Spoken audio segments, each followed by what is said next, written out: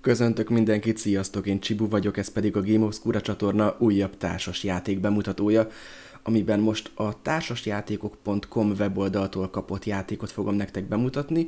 Egyébként erről a weboldalról érdemes tudni azt, hogy a játékokra rá lehet keresni, meg lehet találni, hogy hol mennyibe kerül, videókat, leírásokat foglalnak össze a játékokról, így adott esetben egy kis idő elteltével akár még a magyar Board Game Geek-ként is lehet majd kezelni, ezen dolgoznak a fiúk, sok sikert nekik. Mi pedig most érjünk rá a címke társas játékra, melyet a Game Club adott ki magyar nyelven, hát a tags négy betűjét próbálták valahogy megformálni ide, hát egy címke szójátékkal hozták, a dobozon pedig az is szerepel, hogy ez egy szó a szó, ami villámgyors köröket ígér. Hát ez a villámgyors körök nagyon is valószerű lesz.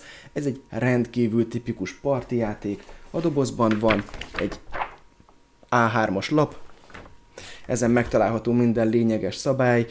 Két nagy kártyacsoport van egyébként a játékban, ami leginkább az ország városos játékra emlékeztet, úgyhogy ha valaki szerette azt a játékot, amiben különböző országokat, városokat, foglalkozásokat és így tovább kellett kezdőbetű alapján meghatározni, akkor annak szerintem ez a játék is tetszeni fog, de egy picit meg van kutyulva és társasjátékosítva van az egész, egy felettébb szórakoztató és tényleg eszeveszett gyors játékról beszélünk, amit egyébként játszhatunk egytől négyen külön-külön, de akár csapatban is. Valójában játszhatjuk akár 12-en is, mondjuk 4-3 fős csapatban, vagy 3-4 fős csapatban, meg akár az is lehet, hogy egy csapatban többen, vagy kevesebben vannak.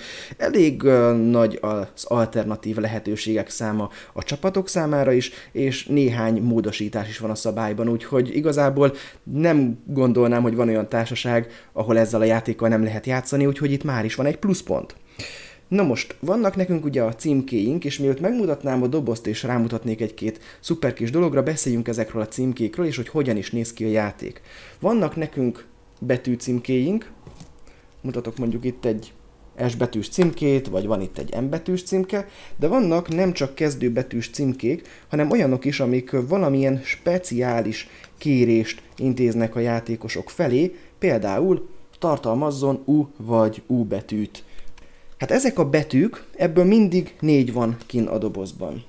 Aztán a betűkön kívül vannak a címkék, és most már megmutatom egy kicsit a dobozt is, remélem, hogy nem dől össze benne semmi. Hát itt van a, a doboz. Úgy van kialakítva, hogy igazából nem kell kipakolni a dobozból, hanem bent van ez a kartonelem, alatta vannak azok a tartozékok, amiket kiveszünk a játék előtt, itt láthatóak a győzelmi pontok, valamint a kategória címkék. Ezek adják a játék savát borsát, és ezen fogunk majd nagyon sokat gondolkozni játék közben. Számos kategória van, itt a doboz oldalán egyébként látszódnak is a kategóriák, sport, logó, művészet, és így tovább, elég sok kategória, és minden kategóriának van valamilyen győzelmi pontja, például ennek három csillagos győzelmi pontja van, tehát három pontot fog adni majd valakinek, vagy valamelyik csapatnak, és hát a másik felén van egy, egy feladat megjelölés, ez a kategória a kemping és túra felszerelés, és már megint a zöld szín miatt inkább választok egy másikat, újságok és magazinok lila színben, ez majd négy pontot fog érni. Na hát itt lennének ezek a, a kategóriák, és a játék során igazából, hogyha még így mutatom ezt a táblát, akkor fogjuk véletlenszerűen a betűket, bepakoljuk ide, és inkább lehet így mutatom, mert akkor jobban látjátok. Bepakoljuk véletlenszerűen ide a betűket, na ez is egy különleges tartalmazzon ort, és legyen K betű is, illetve ezek között ezeket alaposan megkeverjük, majd véletlenszerűen felfordítunk egy-egy feladatot, vannak hát nem is azt mondom, hogy 18 pluszos, de inkább felnőttesebb témák is. Ezek ilyen büntények, vagy büntényel kapcsolatos dolgok, például ez most épp kínzási módszerek, amit ki lehet venni, hogyha gyermekekkel is játszani akarunk, és családi játékot akarunk belőle, vagy itt például olyan szavakat kell majd kitalálni, ami a Balkánhoz kapcsolódik, vagy csapatsportokat kell mondani, és így tovább. Na most ebben a, a hálóban láthatjuk azokat, hogy milyen kezdőbetűvel kell mondanunk, vagy milyen speciális szabályokkal kell mondanunk szavakat. És akkor például nézzük meg, van egy csapatsportok, van egy R betű, ha azt mondom, hogy röplabda, akkor már is van pontom. Na, hogy mennyi pontom van, azt befolyásolják a golyócskák, ugyanis ebben a játékban golyócskákat fogunk gyűjteni. Na de mi a játékban még az érdekes, mielőtt tovább mennék a szabályokon? Az első és legfontosabb, hogy úgy van kialakítva a karton, amit kinyomkodunk, hogy a lehető legkevesebb legyen a holt anyag, amit ki kell dobnunk, ez a pontozó lapka egyébként, és amiket kinyomkodunk elemeket, azokból lesznek a 25-ös győzelmi pontos lapok, vagy lapocskák, vagy éppen a kezdőjátékos jelölő. Szóval ilyen szempontból elég jól esett ez a környezettudatosság. Aztán a győzelmi pontszámlálón kívül van a dobozban a pontszámlálóra tehető csapatjelölők, négy különböző színben. Minden csapat választ egyet, vagy minden személy választ egyet. Van egy 15 másodperces homokóra. Tehát 15 másodperc, úgyhogy már itt is talán érződik, hogy, hogy igenis mennyire gyors kis játékról van szó, és villámjátékról lesz szó. Aztán van négy tál, amit hát eddig minden társaságban, ahol előkerült a játék, egyből kutyatára vagy macskatára asszociáltak a játékosok, de nagyon jó kis műanyag tálkákról van szó. Valamint van egy ilyen fehér háló, amiben találhatóak a hatalmas üveggolyók. Tényleg hatalmasok. Három színből állnak, a fekete három pontot fog érni, a kék kettőt, a fehér pedig egyet. És a golyókat véletlenszerű elrendezésben a karton elem különböző rései beillesztem. Ettől látványos lesz, messziről is láthatóvá válik a játék,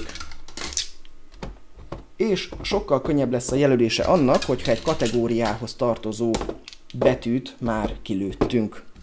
Ugyanis, hogyha visszatérünk ahhoz a megoldásomhoz, amit mondtam, hogy röplabda, aki éppen soron van, 15 másodperce van, hogy minél több kategóriához és betűhöz tartozó szót mondjon ki.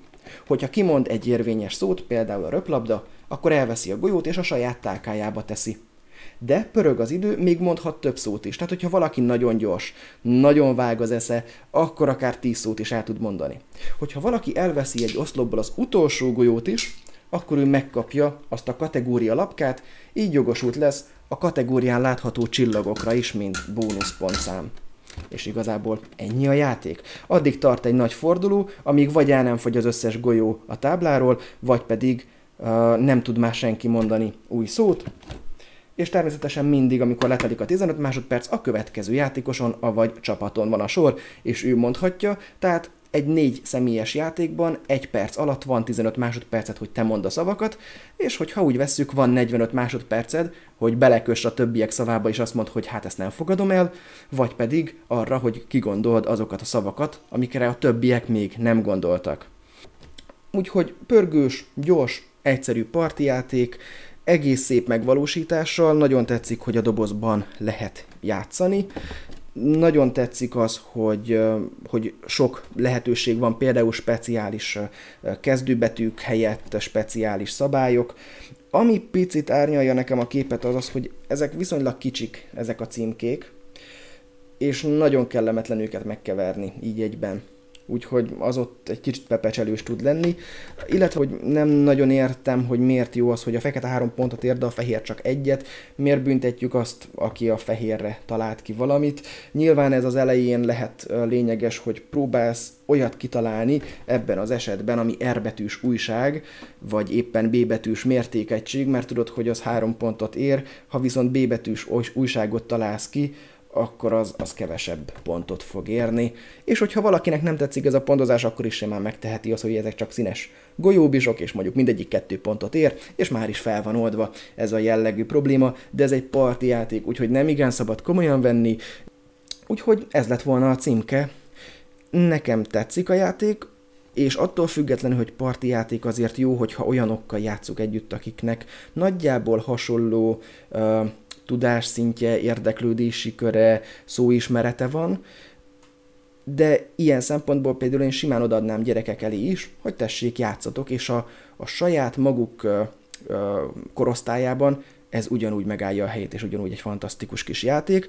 És akkor még egy negatívum a végére, ne tároljátok oldalasan a dobozt, illetve ha lehet, akkor próbáljátok meg így vinni, különben minden összeomlik benne, ami csak lehet. Úgyhogy hiába a látványos és szép elrendezés, amikor már kim van az asztalon, de addig, mire megkeveritek a címkelapkákat, meg összedolgozzátok a, különböző szétesett dolgokat, az, az, az, az eltarthat egy kis darabig.